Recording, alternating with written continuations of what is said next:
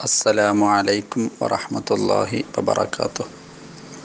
പഠന ക്ലാസ് ഇരുപത്തി മൂന്ന് വിഷയം ക്ഷമയും തൃപ്തിയും. റബ്ബിൽ ആലമീൻ. വസ്സലാത്തു വസ്സലാമു അലാ അഷ്റഫിൽ മുർസലീൻ.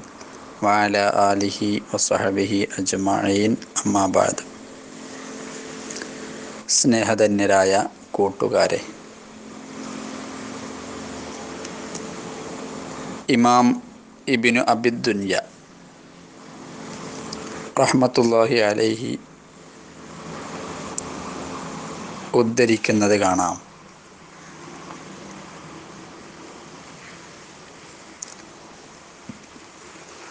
ഒമറുബിൻ അബ്ദുൽ അസീസ് അള്ളാഹു അനഹുവിന്റെ ഭരണകാലഘട്ടത്തിൽ ഒരാളുടെ മകൻ മരണപ്പെട്ടു.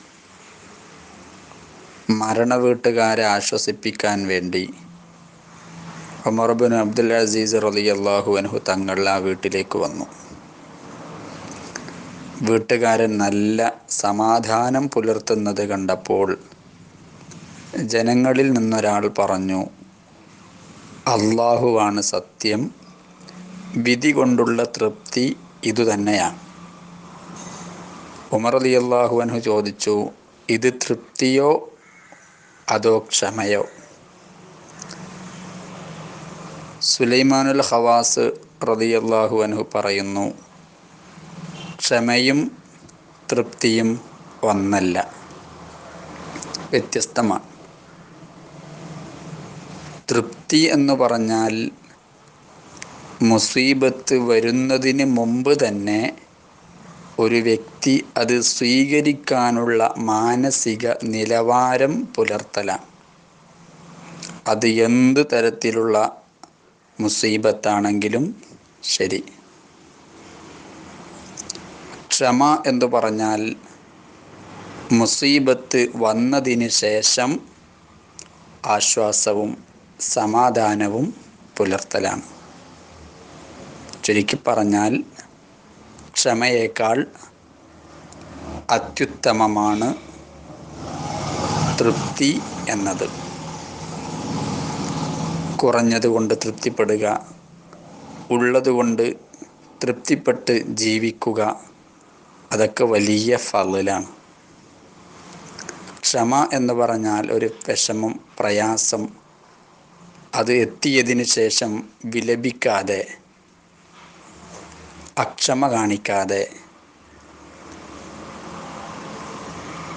വേദനയും വിഷമവും ഒക്കെ ഉണ്ടെങ്കിലും അതൊക്കെ കടിച്ചു പിടിച്ച് അള്ളാഹുവിന്റെ പരീക്ഷണമാണ് എന്ന് കരുതി സമാധാനിക്കലാണ്.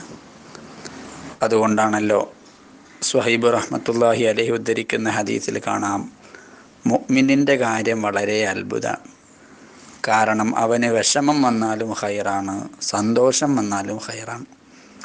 വിഷമം വന്നാൽ അവൻ ക്ഷമിക്കും അപ്പോൾ അവന് അത് ഹൈറാണ്.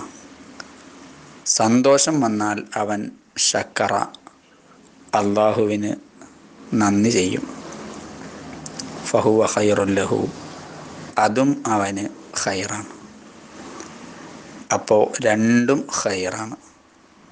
ക്ഷമയും തൃപ്തിയും ഒരു വിശ്വാസിയുടെ ജീവിതത്തിലെ ഒഴിക്കാൻ കഴിയാത്ത രണ്ട് കവചങ്ങളാണ്.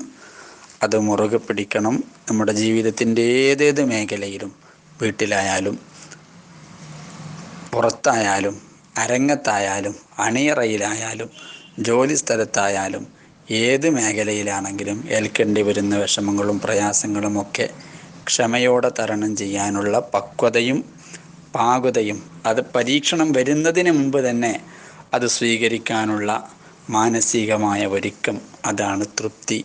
അത് നിങ്ങൾ ആർജിച്ചെടുക്കണം. അള്ളാഹു അവന്റെ ഔദാര്യം കൊണ്ട് നമുക്കത് കനിഞ്ഞ് നൽകുമാറാകട്ടെ. ദുആ വസയ്യത്തോടെ അസ്സലാമു അലൈക്കും വറഹമത്തുള്ള